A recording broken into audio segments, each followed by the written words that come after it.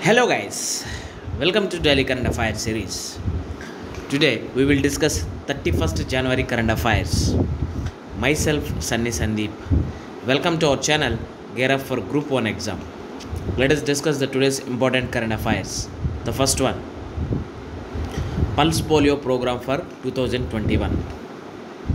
Here, the drops were administered to children on the eve of Polio National Immunization Day, which is observed on the 31st January 2021, also popularly known as Polio Ravivar.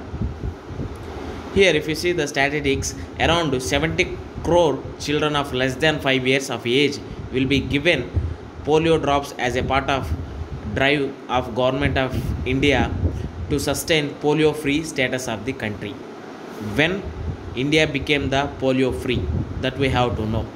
Here, polio free certification of the entire Southeast Asia region of WHO, that is World Health Organization, including India, on the 27th of March 2014 was a huge accomplishment in the history of India and public global health. Why? Because on 27th of March 2014, India is designated as a or announced as a pulse or polio free country. Next one, Lower Arun Hydroelectric Project. Here, the Lower Arun Hydroelectric Project is located in Sankhuwasabha and Bhojpur districts of Nepal. Here, on completion of 679 megawatts, Lower Hydro, Arun Hydroelectric Project will generate 3561 million units of electricity per annum. Here, this project is being developed by SJVN in Nepal, would result in overall development and boost in mutual and growth in India and Nepal also. That's why this Lower Arun hydroelectric project is important for both countries. Next one, UP ordinance and, conver- and conversion. Here, this this topic is about love jihad. Here, there is a ordinance that is the ordinance on unlawful religious conversions promulgated by the Uttar Pradesh government last year has not been sent to the center for examination. It is it is news about our news came about in the RTI file application. Here, bills passed by states to be need to be cleared by center. Here, every state can pass their bills, their respective bills, but uh, if suppose any repug, repug, repugnate, then it could be cleared by center.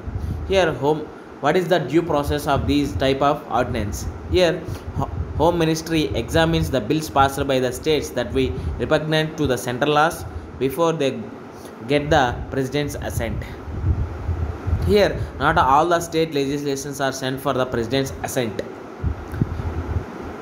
Then, which type of legislations should be sent to president assents? Only those repugnant to central laws, deviating from national of central policy, or which can be challenged for legal and constitutional validity are are sent.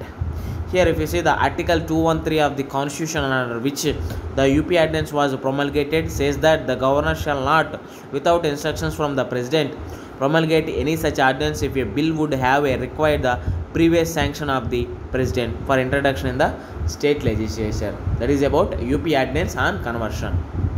Next one, government plans to law to ban Bitcoin, set up official digital currency. Here, India plans to introduce a law to ban private cryptocurrencies such as Bitcoin and put in place framework for an official digital currency to issued by the central bank that is Reserve Bank of India according to the legislative agenda listed by the government. Here, there is a judgment by Supreme Court that is Supreme Court had in March overturned RBI's dictate to FIS not to deal with virtual currency that is bitcoins. Then now we can these type of financial institutions or financial dealers can deal with these type of bitcoins. With this we can conclude our video. Thanks for watching. Like, share and subscribe to our channel. Gear up for group 1 exam. This is Sunny Sundeep signing out. Take care and bye bye.